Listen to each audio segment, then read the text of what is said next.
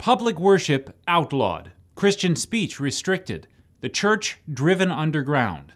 Those who think it can't happen here could learn from Blessed Miguel Pro, a Mexican Catholic priest and martyr who knew firsthand that religious freedom can be crushed, even in a majority Catholic nation like Mexico.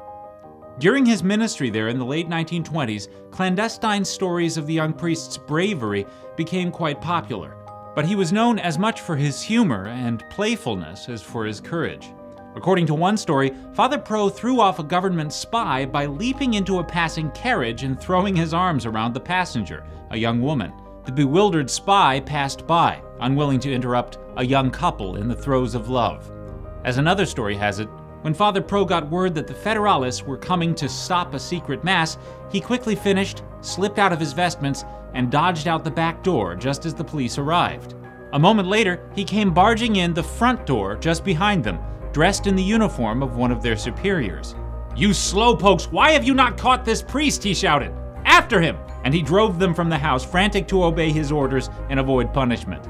It's hard to tell for sure if all the stories are true, but we do know the final chapter of his life for sure.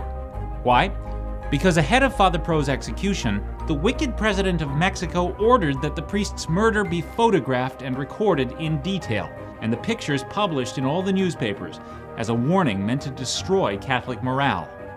But when the moment came, Father Pro made a few quick witted decisions that would change the course of history. He refused to wear the customary blindfold and looked the firing squad in the eye. He gripped a rosary in one hand, a crucifix in the other.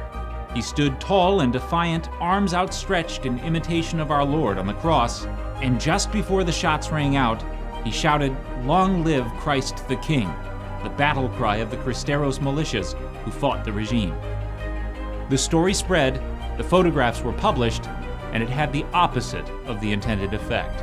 60,000 attended Father Pro's funeral, and the heroic Cristeros went on to fight harder than ever, carrying newspaper cutouts of Father Miguel Pro into battle. Pope St. John Paul II beatified the priest in 1988, and mark your calendars, November 23rd is Blessed Miguel Pro's feast day. This has been an episode of CVTV. Subscribe to CVTV on YouTube, follow us on Facebook and Twitter, and sign up at catholicvote.org/loop.